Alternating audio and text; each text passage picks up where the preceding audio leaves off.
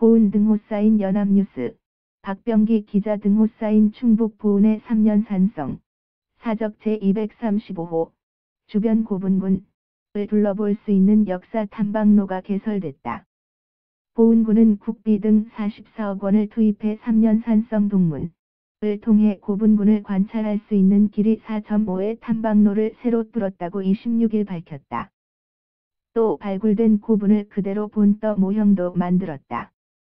보은읍 오성산 정상에 자리 잡은 3년 산성은 신라 자비마랍간 13년인 서기 470년 축성했다고 삼국사기의 축성 시기가 기록된 유일한 고대 산성이다. 이 성 주변에 대야어암 평각 풍출이 이뤄내는 1644기의 고분이 있는 것으로 파악돼 있다. 이 가운데는 봉토, 가 분명한 무덤 309기와 지름 15에서 20m의 대형 봉토분 168기도 포함돼 있다.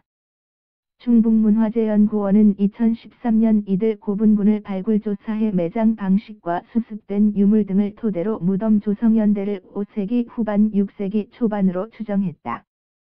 이 시기는 3년 산성 축성 시기와도 일치한다. 군은 고분 가운데 대야리 소재 대형 봉토분 1기를 발굴 복원했으며 인접한 풍추리의 3기의 고분 모형을 조성했다. 두 곳의 모형은 봉분 형태지만 한 곳은 발굴된 내부 상태를 그대로 재현했다.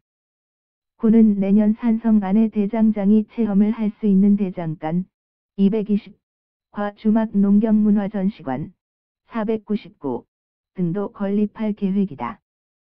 이곳에서는 매년 봄, 가을 대장장이 체험장이 운영돼 시민들의 호응을 얻었다.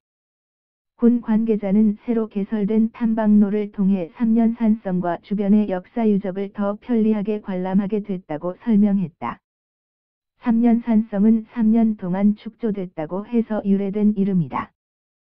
둘레 1680m 최고 높이 22m의 성곽 중 서쪽 방향 300여 엠는 원형이 비교적 잘 보존된 상태다. 브지퍼그 골뱅이 인어.co.kr 2017년 12월 26일 13, 30 송고